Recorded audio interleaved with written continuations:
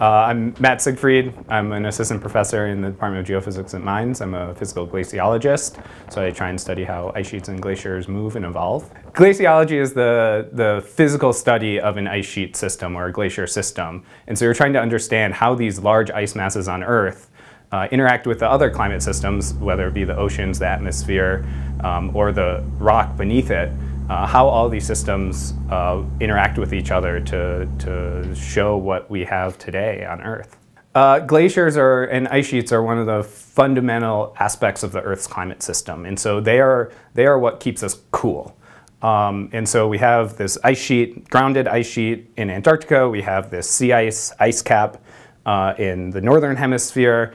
Uh, and that, uh, just the fact that these are bright and white changes the Earth's energy balance. And so you start making, replacing, say, the sea ice in uh, the northern hemisphere, bright white sea ice, replace it with dark ocean, the Earth absorbs more energy, uh, and you're actually heating up the Earth just by that change in color. Uh, glaciers specifically, both Greenland and Antarctica, are fundamental in uh, global ocean circulation. And so um, you start changing the geometry of the ice sheets and you can you can change you know the thousand year timescale of ocean circulation. And then finally part of what i study is uh, lakes and river systems beneath the ice and so these are, are hidden freshwater sources that all flow into the Southern Ocean. And so you could imagine trying to understand like coastal oceanography around North America, just like put an eraser over all the rivers and try and figure out what's going on in the coastal systems. It's really hard. These are sources of freshwater, they're sources of micronutrients. Uh, glaciers love eroding what's beneath them, and so you have this very fine-grained material being pumped out uh, into the Southern Ocean. And uh, part of uh, part of my research is collaborating with microbiologists and trying to understand what lives underneath ice sheets.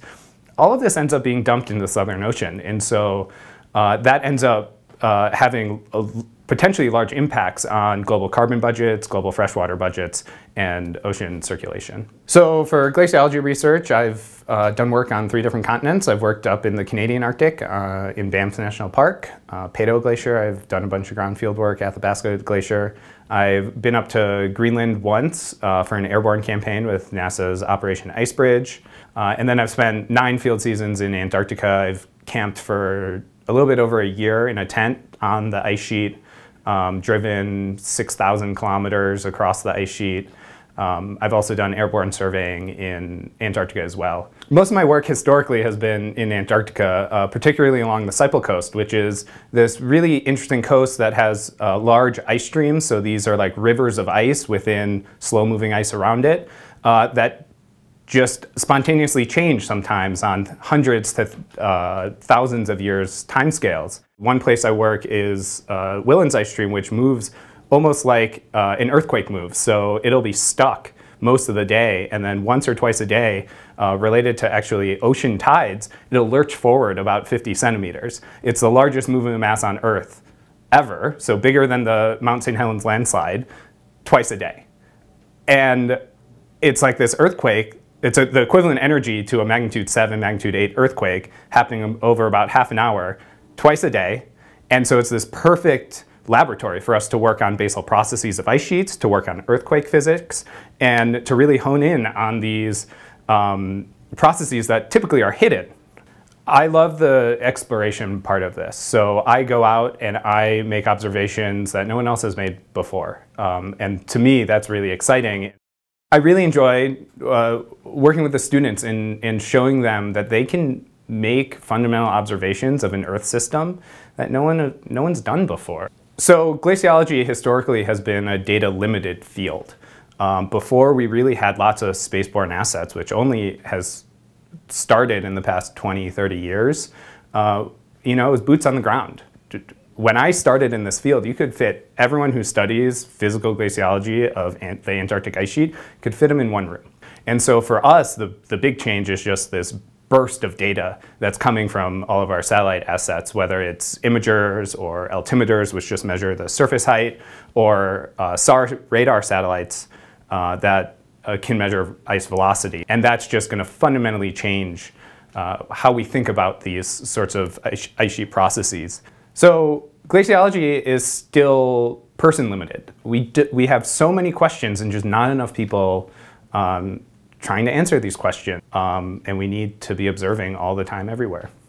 I'm really excited about the future of glaciology just in terms of what NASA is putting in the air. Uh, and so ICESat 2 launched in 2018. I was there at the launch. It was incredible. Uh, I watched my friends cry. They were so happy. Uh, and, and it was a successful launch. And so we have this laser altimeter uh, orbiting uh, to 88 south, 88 north. And it can measure the surface with six laser beams at a time down to centimeters. Uh, and it, it orbits every 90 days. So every 90 days, we get this new measurement of what the surface of the ice sheet looks like the things we'll be able to do, the science we'll be able to produce based on this is just going to be fundamentally step change in how we think about these systems. Uh, I've been part of two large subglacial lake drilling projects, and so these are lakes beneath 1,000 meters of ice, 1,200 meters of ice. Um, these are totally hidden and isolated from the outside world currently, and we're trying to understand how these systems evolve, how are they connected, and when was the last time they were actually connected to the rest of the climate system, to oceans. And to, to be in the shipping container, which is usually the only hard side structure we have down there, to be in the shipping container with the TV showing the live feed from the camera that's down the hole under half a mile, three quarters of a mile of ice, and to see those first images of a subglacial lake, it's it's the the moon shot for us. Like um, I'll never forget the first time we put a camera into Subglacial Lake was the weekend before the Super Bowl. And it was way more exciting than the Super Bowl. And I'll just never forget the energy in that in that shipping container when so the camera just goes black when it hits the mud. Um, and then it turned on its side and you start to see some sediment washing in front of the camera. And it was like looking at pictures of Mars and it was right beneath our feet half a mile. It was uh, it's something I'll never forget leave the line the way it is. Who's Can they come back? that. Yeah, just gonna lift up slightly. Hmm. That's a neat picture right Yeah, there. looks like the Yeah. That, uh, So one of the parts of doing Antarctic field work that I really like is you go out into the middle of nowhere, 500 miles from the nearest research station, from the nearest people. You're, you know, four people, eight people in this tiny little camp living in tents, and it just distills everything down to the most basic things you need. And you totally lose that instinct to pull out your cell phone and, and look up a fact. You're sitting down at dinner and arguing about things. And um, that's, that's one of my favorite parts of field work. I, I, the longest field season I've done out in a tent was 60 days. So it's 60 days in a tent. So when you're trying to sleep, uh, everything is yellow because that's the color of the tent uh, and it's light. Uh, it, makes it, it makes it tough. For me, one of the uh, most unique feelings about fieldwork is when you get dropped off by the airplane. So we're flying out in an LC-130, which is basically a, a blimp with, with skis. Um, and they drop us off with our palletized cargo, and then they leave. And you're standing around on an ice sheet, it's flat and white in every direction, and you're like, well, I guess we gotta crack into these or we're gonna die. So like, there's just this rush that I've never had anywhere else where it's like, we gotta get this done because our survival depends on it.